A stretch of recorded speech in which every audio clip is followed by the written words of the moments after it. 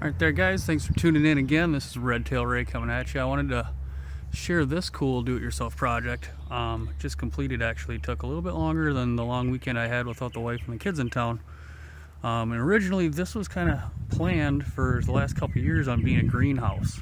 Um, but it ended up being a, a three-season porch, I guess is what you'd call it, because it's just screened instead of uh, polycarbonate wrapped. Um, just got it pretty much completed right in time for Mother's Day and she wanted the back wall painted. It used to be that dark brown. Um, and believe it or not, I'm not sure if you're gonna be able to see it back there, but behind that chair back there, that's a doggy door. So the previous owners had this house before, long before we bought it five years ago. Um, this was a, a, dog kennel, and there's still a fence up here, and they had um, holes where actually I repurposed and refilled in these landscape timbers, which is what the whole structure is supported by is one, two, one in the middle, three, four, five landscape timbers. And I had the holes still in there. Let's see if I can zoom out here. Two screen doors and plastic C-channel.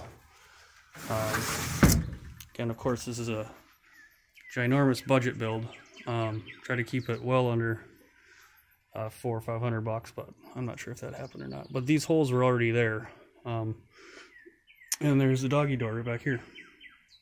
And so I kind of turned it into a, a she shed, a sunroom, a sitting room, a BFZ, a bug-free zone, because mosquitoes get really bad here up in middle of, well, north of the Twin Cities, but not quite middle of Minnesota. Um, so this is what it turned out like, and I'm not, you know, by any means a framer or a contractor. I've dabbled in a few things here and there, um, but it turned out really nice. The wife is really happy. Um, I went with clear on the top instead of the smoke. The clear was about 13 bucks a sheet, uh, 26 inches wide by uh, 8 feet long. And uh, it turned out really nice. The reason why um, I used these five landscaping timbers is one, uh, they already had the existing holes and just adding a little more than half a bag of cement to fill up those holes and level those out to create the structure um, is because See this giant crack right here? Um, this actually had a pretty significant frost heave just a few years ago, so I didn't really want to attach it um, to the house, as well as I'm not pulling a permit for anything, but um, that way with all these uh, bolts here, um, they can just be loosened up just a little bit if we're, you know, getting towards winter time.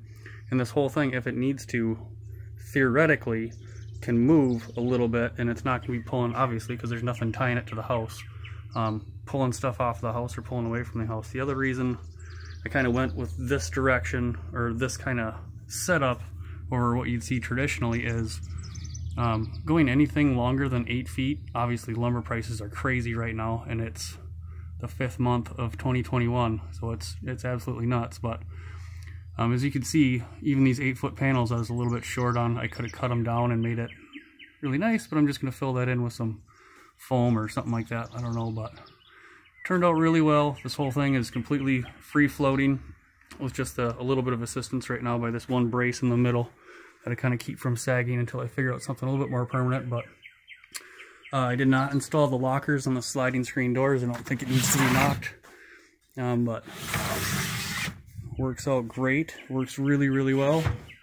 I'm um, just actually uh, snuck off today and got a couple flowers for Mrs. Redtail Ray. She hasn't seen these yet.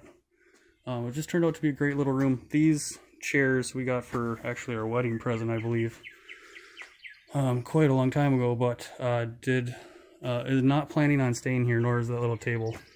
I'm just kind of in here temporarily to fill up space. I think she's going to go ahead and get something really nice, like some outdoor furniture from a patio store or something like that. Nice coffee table and two chairs and a couch. I think is her plan.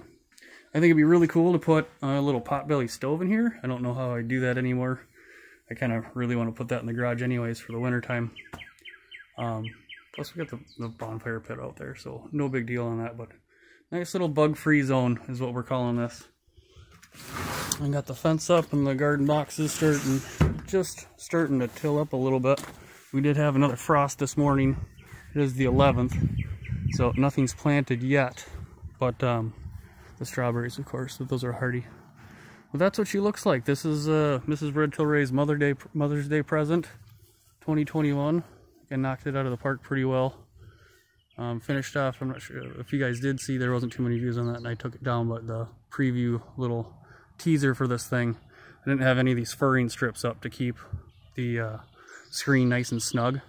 Obviously with two dogs and two kids, um, accidents will happen and just assuming that any kind of pushing on it whatsoever would pull and rip those staples out that it's all attached by. So these really help strengthen and tighten all that stuff up on the outside and on the inside.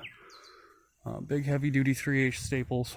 And uh, yeah, that, that, still more to be done, especially as far as decorating goes, but my hands are off of it now because it's, it's the she shed for Mrs. Redtail Ray and she's gonna decorate it and take over and do whatever she wants with it. So pretty cool. Just thought I'd share that, a non-traditional um, lean-to style screened-in porch um, done on the real cheap, um, as cheap as possible for the construction and lumber prices are right now. But um, there you go. That's just my take on happy wife, happy life. Thanks for tuning in, guys. I'll see you in the next one.